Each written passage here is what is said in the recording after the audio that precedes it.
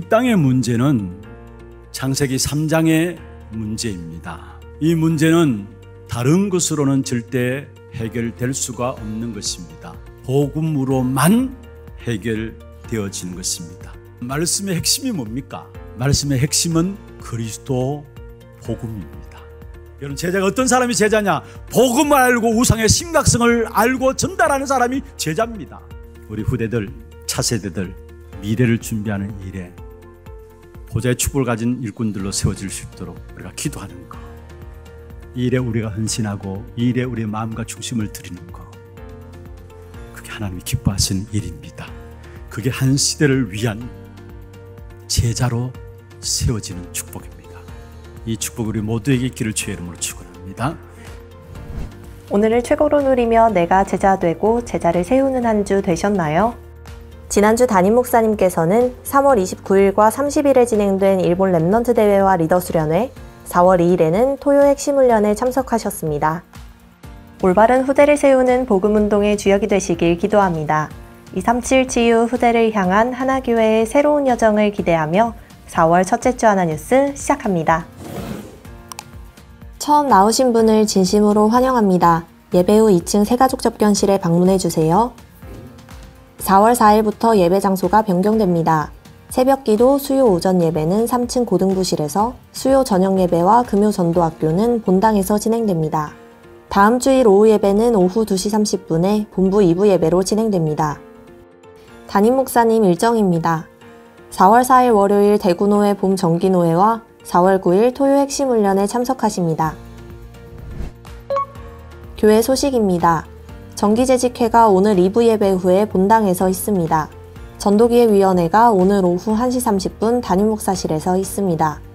유아 세례와 입교를 포함한 세례문답 공부가 오늘 2부 예배 후에 유년부실에서 있습니다. 대구노회 봄 정기노회 관계로 권차례가 오늘 오후 1시에 본당에서 진행됩니다. 전도기획 모임 1주차 훈련이 있습니다.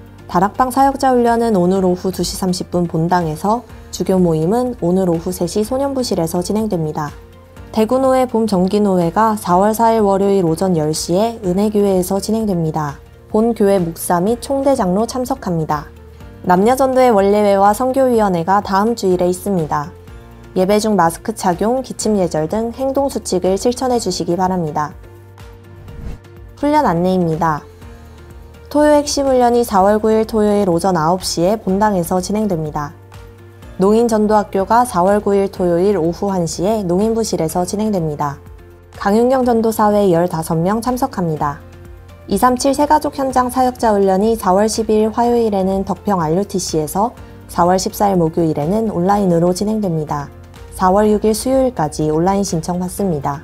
유럽 전도 집회와 remnant 대회가 각각 4월 15일 금요일과 16일 토요일에 온라인으로 진행됩니다. 4월 6일 수요일까지 온라인 신청 받습니다. 237 이방인의 뜰 프로젝트 한나라 품기 이번 주는 토켈라우 제도 편입니다. 이번 주에 소개해드릴 나라는 지구상에서 가장 외딴 나라 토켈라우 제도입니다. 오세아니아에 위치하여 뉴질랜드 속령인 토켈라우 제도는 1840년대가 돼서야 영국 선교사로부터 기독교가 전파되기 시작했는데요. 이를 통해 이 나라는 전체 인구 1411명 중 약 60%가 기독교 교단에 속해 있으며 약 35%가 로마 카톨릭 교인입니다. 1877년 영국은 당시 토켈라우 제도를 유니언 제도라 이름 짓고 영국령 식민지로 편입시켰는데요. 1926년 이곳의 관할권을 뉴질랜드로 이관함으로써 현재까지도 토켈라우 제도는 뉴질랜드의 직접 관할 국가로 남아 있습니다. 이 나라는 향신료 재배가 주산업이나 고용된 대부분의 노동자는 뉴질랜드 본국에서 일하며 이들이 고향에 보내는 돈으로 나라의 경제가 움직인다고 합니다. 토켈라우 제도는 너무 애딴 위치와 적은 인구 때문에 제대로 된 국제 정보조차 최신화되어 있지 못한 국가인데요. 그리스도로 결론난 한 사람의 제자를 통해 이곳이 오세아니아의 237 보고마의 주역이 되도록 이번 주는 토켈라우 제도를 두고 기도합시다.